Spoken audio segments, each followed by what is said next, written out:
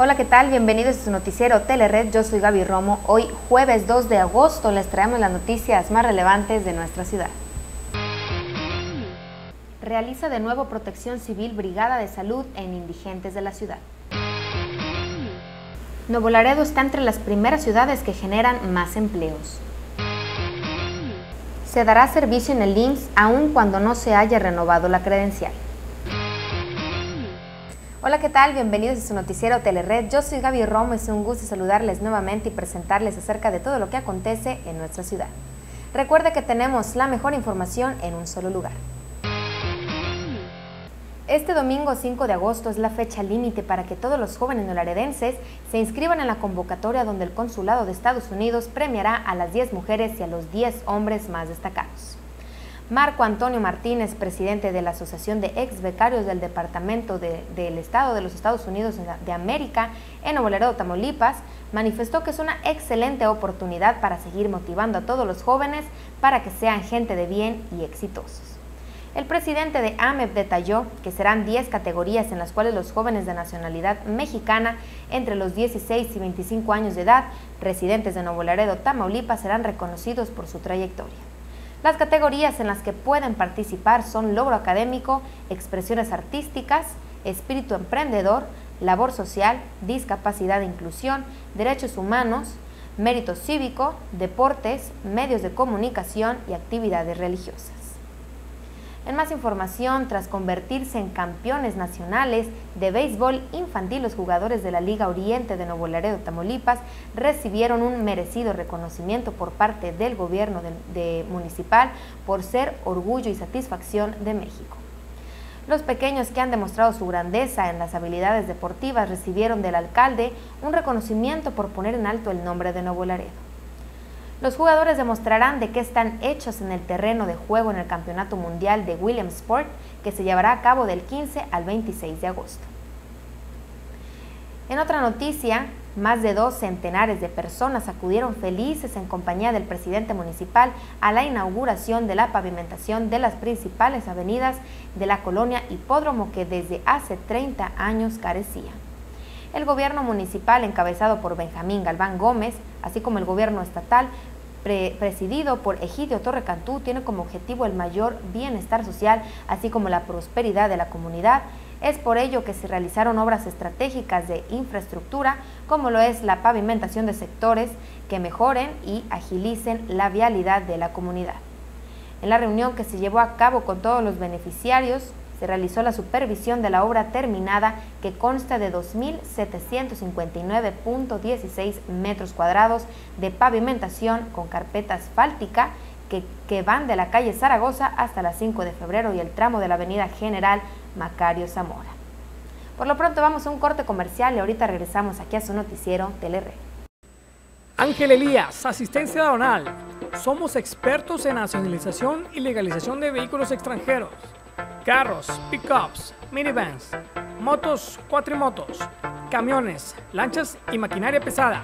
Visítanos en Nuevo Laredo en Bravo 1720 con teléfono 712-1150 y Laredo, Texas en 1302 Santa Úrsula con teléfono 956-324-3428.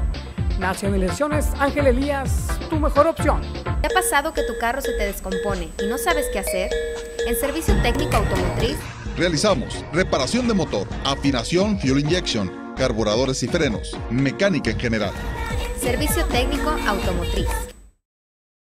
¿Te gustaría tener el privilegio de obtener ofertas verdaderamente especiales y descuentos de hasta 50% en más de 300 comercios de Nuevo Laredo? Entonces tú debes tener la tarjeta del Círculo de Ahorradores con la que podrás obtener estos beneficios para tu economía. Invierte solo 125 pesos y ahórrate una buena lana. Una, otra, otra y otra vez. Solicita la 719-1026 o 189-6085. La tarjeta del Círculo de Ahorradores. Fomentando tu ahorro familiar.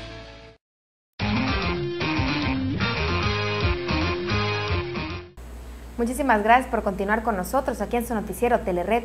Le recordamos que si tiene dudas, sugerencias o reportes de fugas de agua, baches en su cuadro o lámparas fundidas, bueno, pues puede comunicarse con nosotros a través de nuestras redes sociales, como viene siendo el Facebook. También contamos con cuenta de Twitter o a través de nuestro correo electrónico. Ya nos llegaron algunos reportes nos informan que está muy oscuro en la calle Madero Insurgentes, ya que hacen falta lámparas. También en otro reporte nos informan, en Marcial Cavazos 915 se reventó un tubo de agua y se está tirando mucha. Eso está pasando en la colonia militar. Muchísimas gracias por su confianza y por mandarnos sus reportes. Y bueno, pues continuando con la información, la Dirección de Protección Civil y Bomberos realiza de nuevo una redada para levantar a indigentes y enfermos mentales para darles atención médica, comida y aseo personal. Ahora estudiantes de psicología trabajarán con los beneficiados. Ernesto Rivera Gómez, director de Protección Civil, explicó que ahora el operativo de atención a indigentes se amplió, pues alumnos de psicología de la Universidad Valle de México harán un estudio con las personas. Rivera Gómez agregó que buscar dar una atención integral a los indigentes en donde contemplan aplicarles la prueba de VIH en caso de ser extranjeros, se le notificará a la Delegación Regional del Instituto Nacional de Migración. Y bueno, pues ahora vamos al mundo de los deportes con nuestra compañera Ale Rejón. Muy buenas tardes, Ale. Muchas gracias Gaby y público de Telered. Bueno, mi nombre es Ale Rejón y es un placer estar nuevamente con ustedes y traerles la información de lo que acontece en el deporte local.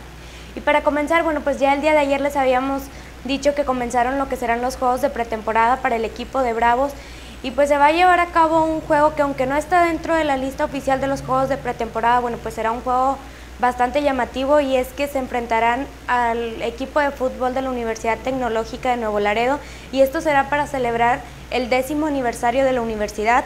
El juego será el miércoles 7 de agosto en la Unidad Deportiva Benito Juárez a las 6 de la tarde. Entonces, bueno, para todos los que deseen asistir, ahí está la invitación y pues posteriormente les estaremos informando acerca del resultado de este partido. Y por otro lado, bueno, pues llegó un nuevo refuerzo al equipo de Bravos, eh, llegó el mediocampista Brian Ruiz. Este jugador ya había estado anteriormente en el equipo de Bravos para lo que fue la temporada 2010 y bueno, pues hay que recordar que la primera vez que estuvo en el equipo prometió que llevaría al equipo al campeonato y que lo ganaría, pero bueno, pues esto no fue posible y él se fue del equipo con las manos vacías. Así es que esperemos que para esta temporada 2012 no sea lo mismo que la temporada anterior y esta vez sí logren llegar a unos muy buenos resultados.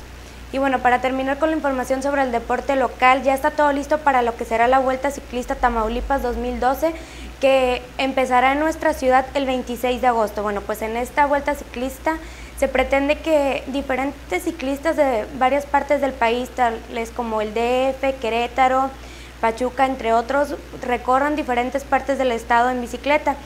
Ya el alcalde Benjamín Galván Gómez dio indicaciones para que esté todo listo para la llegada de estos ciclistas. Esperemos que tengan una muy buena estancia en nuestra ciudad y su recorrido, perdón, sea todo un éxito. Eso fue toda la información deportiva. Me despido de ustedes. Mi nombre es Ale Rejón y volvemos contigo, Gaby.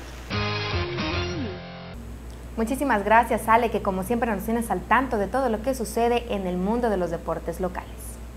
Y bueno, pues continuando con la información, en lo que va del 2012, el empleo en el Estado ha repuntado y con ello se han generado 16.300 empleos que se registraron ante el Instituto Mexicano del Seguro Social hasta el mes de junio y es Nuevo Laredo la ciudad que ocupa el segundo lugar a nivel estatal en la generación de trabajo, de los cuales la mayoría son del área de la industria de la transformación, fue lo que comentó Mónica González García, secretaria del Desarrollo del Empleo y Turismo en Tamaulipas.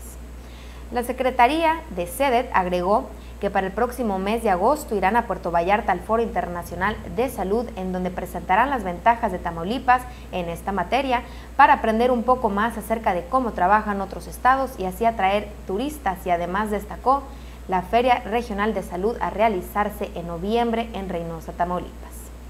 González García también informó que han estado trabajando con Index Nuevo Laredo, pues han sido insistentes en la aplicación de reglas para el cuidado del medio ambiente y reconoció los esfuerzos que, han que están haciendo los corporativos a nivel nacional para hacer más verde su producción y manufactura. Y por último, nuestra información a pesar de que el 20 de julio venció el plazo para que los 225 mil derechohabientes asegurados al IMSS obtuvieran su nueva credencial de ADIMS, el director de la Unidad de Medicina Familiar, Juan Villegas, comentó que por indicaciones superiores no se le negará la consulta médica a ninguna persona. Pero los derechohabientes que acudan a cualquiera de las unidades a solicitar servicio deberán presentar una identificación con fotografía, aunque lo ideal es que presenten su credencial ADIMS, pero si no la han tramitado, la credencial de lector, la cartilla militar o el pasaporte son los documentos que serán solicitados. También comentó que solo el 62% del total de los derechohabientes afiliados al instituto tramitaron la nueva credencial y que el 38% restante no se afilió por la falta de alguno de los documentos originales que fueron solicitados como el acta de nacimiento, por ejemplo. Y bueno, pues esto ha sido todo en su noticiero Telered. Yo soy Gaby Romo, que tenga un excelente día. Recuerde que tenemos la mejor información en un solo lugar. También recordándoles que puede encontrar esta y más noticias en nuestra página de internet www.telered.tv. Hasta mañana.